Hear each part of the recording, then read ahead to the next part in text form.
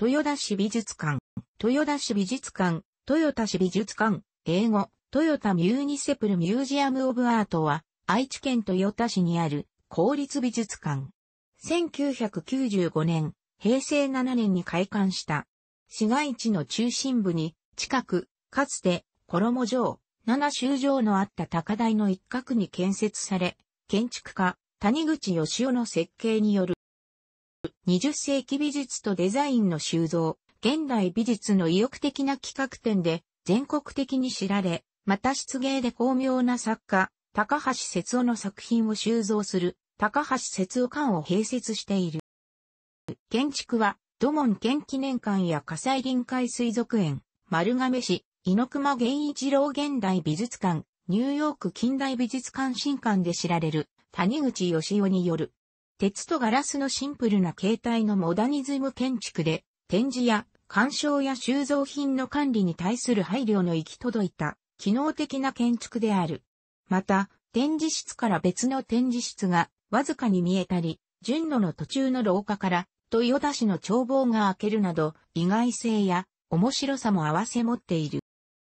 建物は地形の傾斜に合わせて1階部分も2階部分も地面に接している。1階部分は芝生の広場に面したエントランスで2階部分のレベルは広大な人工池に面しアメリカ製の緑色の特殊鋼板や白いガラスを用いている美術館本体や高橋節夫館など、回廊状に連なった四角い建築群が水面によく生えている。池の対岸には彫刻の散歩道や茶室、復元された七修場の櫓がある。ランドスケープデザインはピーター・ウォーカー。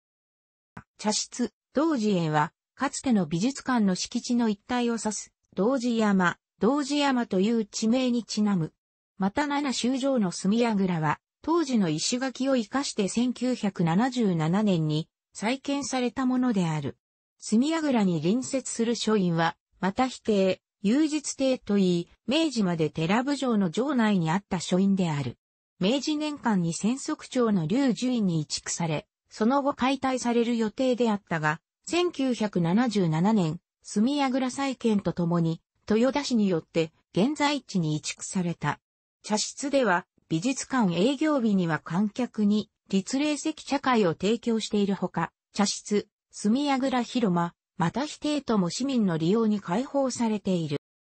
コレクションは20世紀初頭の日本がアーツクラフツ運動、ウィーン分離派、バウハウス、シュルレアリスムに属する作家の美術作品、同時期の家具など、デザイン作品に始まり、20世紀の主な美術運動を網羅し、1990年代以降の日本における現代美術の作品までを収集している。特に日本の同時代作家の収集や展覧は、リアルタイムの日本美術の研究や活性化のためにも重要でユニークな活動である。コレクションでは同じ作家の作品を複数所蔵していることが多く、所蔵作品だけで常に小さな企画展を行うことが可能である。またアルテ・ポーベラなど、戦後のイタリア美術の作品ほか、ヨーロッパの戦後美術の主要な作家に力を入れている。その他、遺族からまとまった寄贈を受けた、小堀四郎、宮脇春、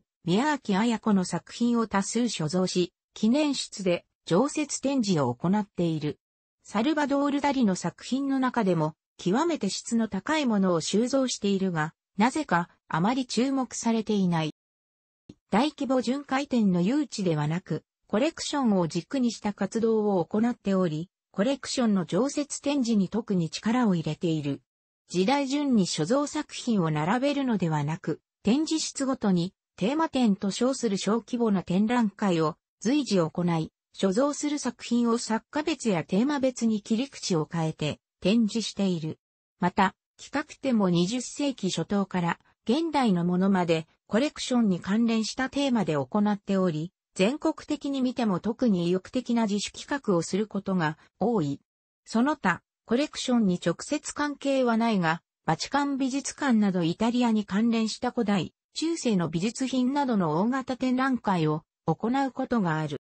2011年には、市政60周年事業として、フェルメール、地理学者とオランダ・フランドル絵画展を開催。71日間で10万人を超える来場者を記録した。